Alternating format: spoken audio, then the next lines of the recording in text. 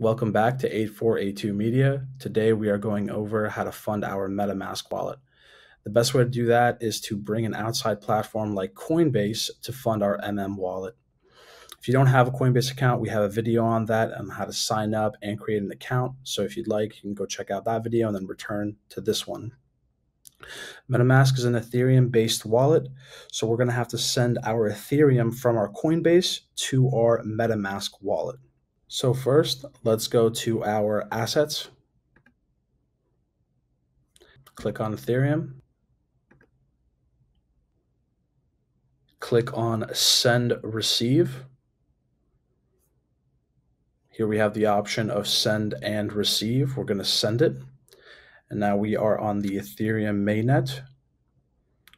And now we're going to need the address of our MetaMask wallet. So we're going to go here Click on our extension of MetaMask.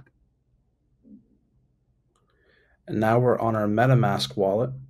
Here we have the address of our Ethereum mainnet wallet.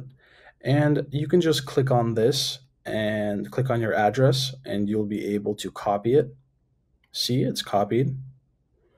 We are going to go down to send, click on to, copy, paste our address.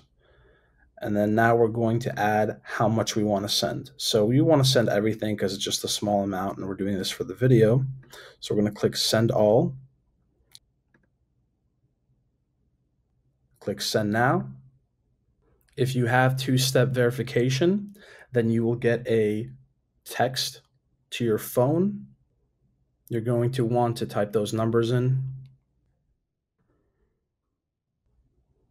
Now that you've added your MetaMask Ethereum wallet address and hit send, it is sending to our wallet now.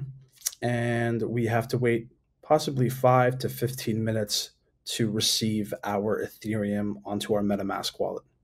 Now that it's been 10 minutes, let's go check out our MetaMask extension. And there we have it. Our that's a weird number to have, but there we have we have six dollars and sixty six cents um, funded from our Coinbase wallet.